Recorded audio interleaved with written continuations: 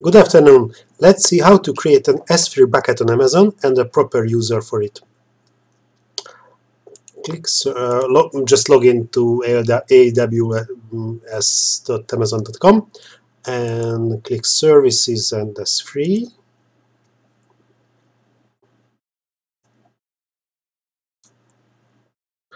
And it's loading. And a new bucket. And I have here the and I like to place it in Ireland. And it's ready. And then I go to go to IAM which is not visible on the screen right now. And we're creating a user just for this bucket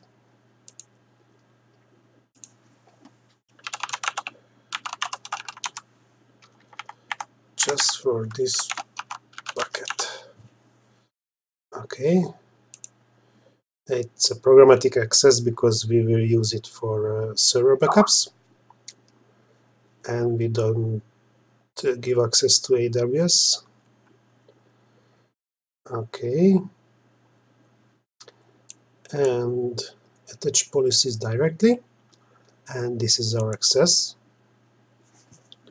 which is basically a JSON array. Copy it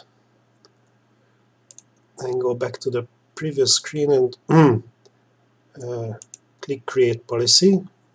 Give it custom policy.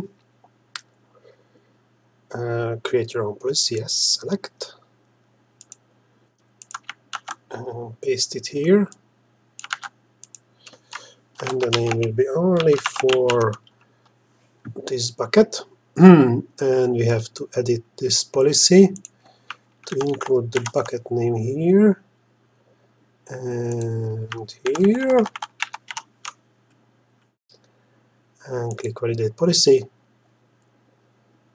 Mastering oh, okay okay okay.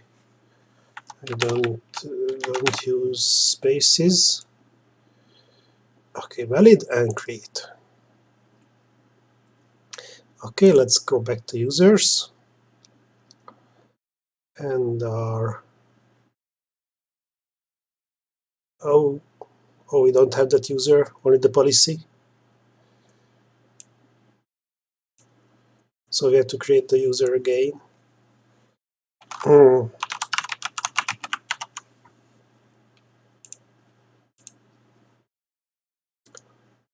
okay and uh, attach existing policy. Oh, and here we have our policy here. And next, okay, create user. Okay, and mm, the identification for the user is not the username, but the access key and the secret access key, which is here and here.